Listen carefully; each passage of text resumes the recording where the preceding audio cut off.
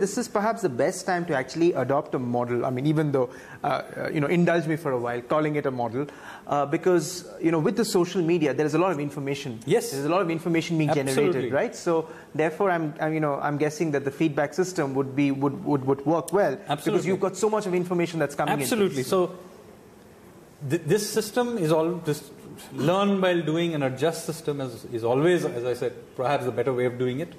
Uh, but this is perhaps a particularly good time to be doing it mm-hmm. because you see, media historically was a one-way. Now you have a two-way media, mm-hmm. which is social media. Now, yes, there is a lot of noise in there. There's a lot of trolling and other things. But in my view, this is a very, very important part of the feedback loop mm-hmm. because it gives you real-time feedback to whether something is a good idea or a bad idea, and you will see that again. Yourself have seen major decisions of the government have been adjusted to f- social media feedback, and people of the old school will see that oh, as that is capitulation. In our worldview, on the other hand, this is the perfectly the right way to go about it. Mm-hmm. The same thing, by the way, is true. There's lots of other real-time feedback. So there is feedback coming through satellite photography. There's feedback real-time coming from your phone. And It's uh, from uh, electronic uh, payment systems. So the old system that we have to do one survey every few years, and that data will determine how everything is run. You know, we need to change out of that. There is real-time data since this is a feedback loop based system, we need to move to taking all those big data very, very seriously. Is it possible to move then? Perhaps I'm thinking, and I'm also ideating with you, like instead of having this one annual economic survey, perhaps quarterly surveys. No, you no, know, no, please. perhaps- That will make we will have no, lot of work to do. Not a particularly good thing to do Okay. because remember the act of doing it. It's not about taking feedback. You have to actually physically write it out. right. Uh, so. Uh, so yes, once in a while, putting it all together is a Hmm. good idea, but not doing it too frequently. Other then, then uh, it uh, detracts from doing actually the policy making. Right. So then, uh, you know, somewhere you're also telling me that policy making in general has been very rigid so far. Yes, and, and, and this is not just an Indian problem, by the way. I mean, this is, I'm describing a global phenomena. I'm describing this, it's Indian manifestation. But, you know, if you went back to the, uh, uh, to the, the, the crisis that you had, now, it wasn't as if before 2007 the world's banks were not, or the capital markets were not regulated. They were hmm. heavily regulated, as a matter of fact, hmm. and yet the crisis happened. Hmm. So there is a lot of thinking process that, oh no, we need to add more regulation. Uh, my view is, if, in fact, that this detracts from another very, very important thing that regulators need to do, which is supervision. You see, people think of regulation and supervision as being some sort of simple substitutes. They are not. They are actually different things, and very often there is a major trade off between them. The regulation, by definition, is a rigid set of rules that people are everybody supposed to follow. Some- Etched in stone. etched in stone. Think of it as the rules of cricket. Okay. But supervision is also important. The umpires are still needed. Now, if the rules are very, very complicated, are too complicated, umpires will not be able to function. Even the players will not be able to function. Mm-hmm. Right? So, adding more and more regulation actually detracts from better supervision. Mm-hmm. You need both and a balance between them. The rules have to be simple enough that everybody understands them, mm-hmm. and the regulator, whichever field, whether it's a central bank or um, regulator in some sector, mm-hmm. it's a simple enough where all the players and the regulator can watch it. It's simple enough that what is going on is clear, and its application and enforcement is also easy to do.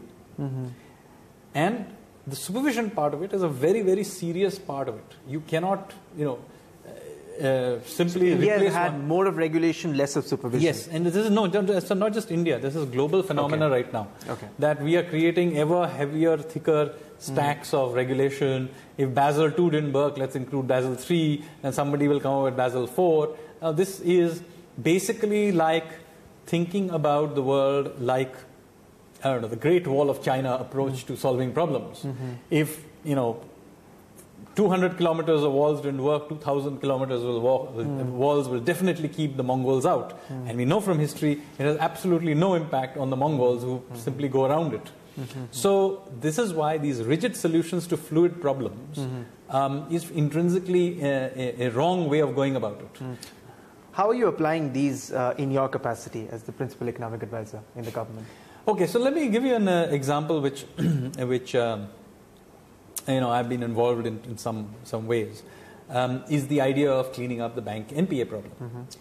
So the, um, one solution was that since the current machine didn't work, you design a new machine called the bad bank and hand the problem to the new machine, and hopefully the new machine, if you've designed it correctly, mm-hmm. was going to do a better job of resolving them.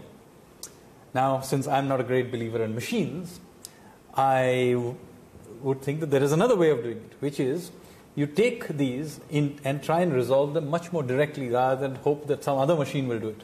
If one machine didn't work, it's likely another machine will also not work. Mm. What you do, in fact, is directly deal with the problem and begin to resolve them rather than warehouse them somewhere.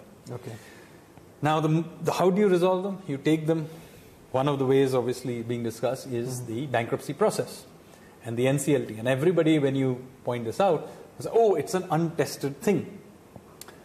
Now, what do you want to do? You want to test this for several years and have a perfect NCLT and then maybe you can uh, try and use these to resolve the NPA problems, mm-hmm. or do what I would argue using a feedback loop system.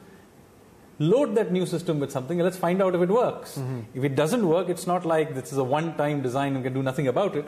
You go and fix that NCLT process, fix the bankruptcy process, mm-hmm. and make it work again. Maybe it won't work a second time. Mm. But, but but how do you see the process working so far? I mean, in your so so far we, twelve cases. We, yeah, so there are twelve cases that was challenged in the co- yeah. one of them was challenged in the court. The court has thrown it out, dismissed. So now we'll go into uh, hopefully the. But the once this, will there be more cases that you? Yes, there will to? be, and I think we have discussed about some fifty odd cases that are be, uh, will be done through this particular process. Mm-hmm. Um, Twelve have already in process. Let's see what happens out of this. Mm-hmm. Now do not ask me what will happen next, mm-hmm. because the whole point about this approach is I do not know. Mm-hmm. Um, I will respond as I figure out what happens. I have some idea what are the right.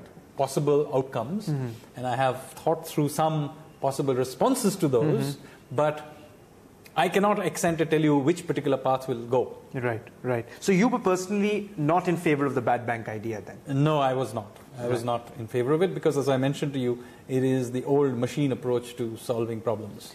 Sanjeev Sanyal, thank you for the conversation. Absolute thank you. pleasure. Thank you so much. Pleasure.